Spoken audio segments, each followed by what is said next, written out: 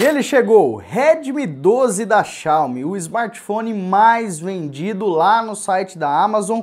Então, se é o mais vendido, tem muita coisa boa que eu vou tratar com vocês no vídeo de hoje sobre esse smartphone aqui, um baita custo-benefício que você precisa se atentar a tudo que ele pode te entregar. Então vem comigo que eu vou te contar tudo que você precisa saber desse carinha aqui, o Redmi 12 da Xiaomi.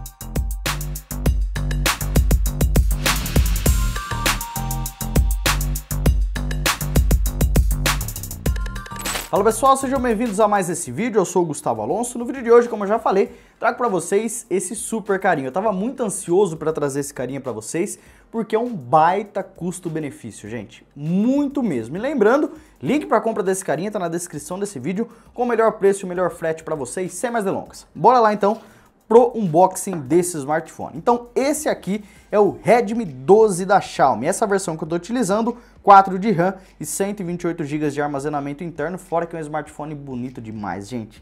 Que aparelho lindo! Um, alguns aí confundem até com iPhone, viu?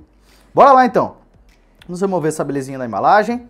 Aqui nós temos, eu já abri ele uma vez, tá? Então por isso que ele não tá aqui dentro dos plásticos e tudo mais. Ele vem dentro dessa proteção aqui, tela de 90 Hz, acabamento premium, temos aí 50 megapixels de câmera, bateria muito boa e outros detalhes que eu vou comentar com vocês, tá bom? Aqui temos o smartphone e olha que coisa linda, gente, mas eu vou tirar a capinha porque vocês sabem, né? Olha isso aqui, eu vou até colocar na câmera da frente. Olha a beleza desse smartphone, olha esse módulo de câmeras, gente. Esse smartphone está muito bonito, muito, muito bonito pelo custo fantástico que ele está aí no mercado, gente, na Amazon, tá? Quanto isso, quando ele liga, vou colocar ele aqui para ligar para vocês, vou deixar ele aqui de lado, vamos comentar algumas informações com esse carinha aqui então. Então aqui na caixa nós temos uma capinha, né, que ele já vem com uma capa inclusa, vem aqui dentro, tá bom? Temos aqui a chavinha ejetora da gaveta de chips, vamos remover aqui, e aqui nós temos os manuais, que é o padrãozinho da Xiaomi, tá? Esse carregador aqui é de outro smartphone, tá? Mas o padrão é esse, USB-A em uma ponta, e esse carinha aqui conta com um carregador de 18 watts, tá bom? O cabo de conexão, que é esse aqui, é um cabo USB-A em uma ponta e USB-C na outra ponta, o que é o padrãozinho da Xiaomi. E os detalhes da caixa basicamente são esses, tá bom, gente? É isso que vai vir na caixa. Carregador, capinha, ele já vem com uma película pré-aplicada, né? Então, um smartphone bem completo. Fechou? Vamos fechar a caixa aqui. E aqui está. Olha a beleza desse... Gente, esse módulo de câmeras, ele não é um módulo pequeno, tá? Ele é bem grande, por sinal. E a gente vai fazer teste de câmeras com ele, tá bom? Então, o primeiro detalhe que eu quero trazer para vocês aqui é a beleza desse smartphone. Ele tem um designer muito bonito, uma traseira muito bonita, muito bonita mesmo, e é aqui uma traseira com a cor sólida, né? Ele não tem aquele efeito conforme você mexe ele, beleza? É uma cor sólida. Aqui então nós temos botão power e leitor de impressões digitais, volume menos, volume mais. Aqui nós temos o sensor infravermelho para você controlar ar-condicionado, televisão e muito mais. Temos plug P2, ponto super positivo. Aqui nós temos gavetinha de chips, que inclusive eu já vou mostrar para vocês, porque senão depois eu esqueço, né? E aí vocês me cobram com razão.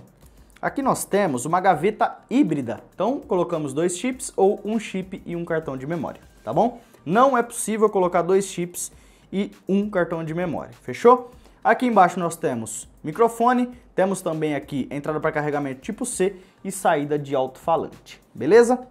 Esse carinha aqui, gente, ele conta com um sistema super fluido. Hoje, atualmente, na data de gravação desse vídeo, ele está custando aí a partir de uns 900 a mil reais, tá bom? Mas eu não gosto de falar preço nos vídeos justamente porque muda, gente, tá bom? Sempre recomendo você, acesse o link, primeiro link da descrição desse vídeo, você vai conferir os detalhes desse carinha, aí mais a fundo para você comprar esse smartphone e verificar o preço no momento que você está vendo esse vídeo, tá bom? Falando em tela, ele conta com uma tela de 6.79 polegadas, é uma tela LCD Full HD+, tá bom? Ele vem pesando aí 198 gramas. Em questão de poder de processamento, esse carinha vem equipado aí com o Helio G88, que por sinal é um processador muito bom, tá? Vocês vão ver no teste de games e vão ver também aqui, ó, no AnTuTu Benchmark, que eu fiz o teste aqui para mostrar para vocês, ó. Deixa eu abrir ele aqui.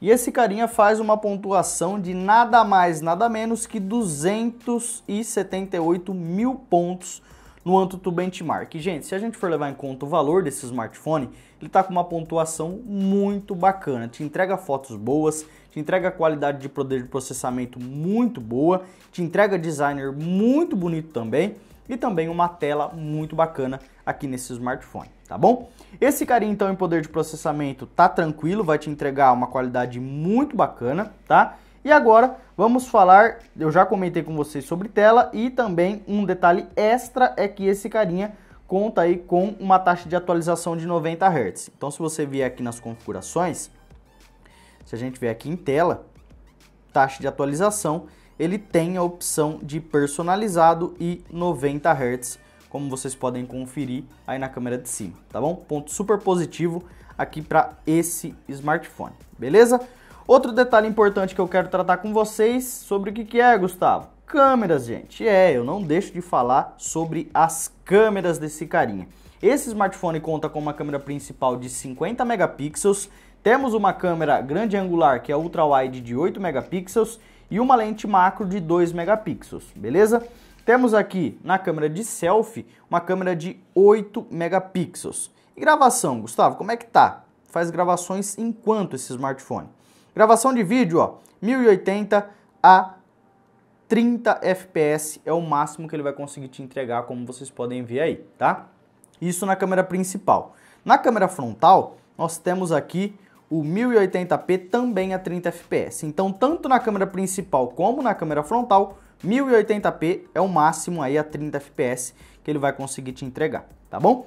Então, basicamente, esses foram os detalhes aqui do nosso Redmi 12, um smartphone que tá fantástico, gente, fantástico. Para você que não tá com muita grana para investir, que é um smartphone barato, custo-benefício, que te entrega uma potência, qualidade de tela, qualidade também de áudio e muito mais, esse carinha vai te suprir tranquilamente, tá bom? É um baita smartphone levando em conta o seu custo-benefício. Beleza? Lembrando então que o link para compra está na descrição desse vídeo e sim, vai ter teste de câmeras nesse vídeo. Então sem mais delongas, bora lá pro teste de câmeras com esse carinha aqui, o Redmi 12 da Xiaomi.